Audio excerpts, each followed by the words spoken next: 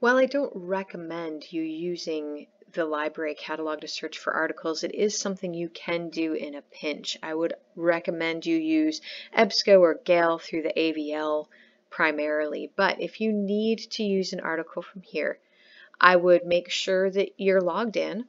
Also, since most of our articles come from the Alabama Virtual Library, I would go to the virtual library. There's a link in our e-resources on our web page and make sure that you've got the green check mark up here in the box. If you're from outside of the state of Alabama or if you have problems with the geolocation not recognizing that you're in Alabama, uh, send me an email from your Shelton State email account and I will give you a temporary username and password and then the AVL will contact you with a permanent username and password. All right, so we were, we can see from the green check mark inside the silhouette of the state of Alabama up there in the upper right hand corner that we are logged into the Alabama Virtual Library. So going back to our tab with Discovery on it, let's search for global warming. And let's say that your instructor wants you to get some articles. So you want things held by Shelton State Community College, that keep that checked on the facets on the left. And then you would like an article. But further, we scroll down a little more, it's updating, this might take a second. You only want full text articles.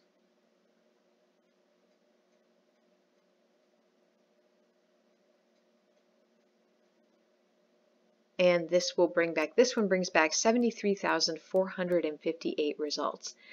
Let's say you are pretty sure you only want things from the last five years which is a pretty common thing to do if you're doing medicine or science, unless you're doing something historic. And this opens up the articles that are available to you. Now here you can see a citation link. If you click on this, it will show you how to cite if you if you say, well, you know, I want an APA citation.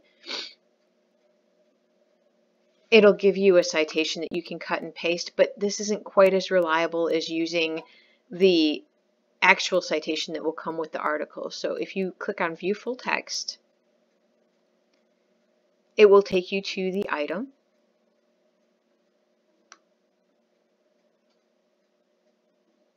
And some of them you have to download the item, but here's the citation, you can see that.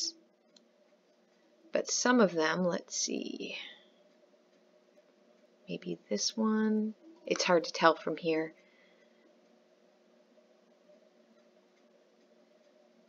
We'll go straight to the article. These are articles from publications.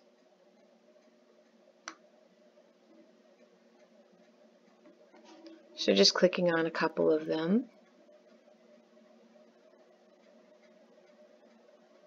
You can see and then you can click on the title to click through but this is through the AVL if you have trouble with this again I would strongly suggest just searching in the AVL but if you have trouble with this feel free to give us a call and we'll try and talk you through it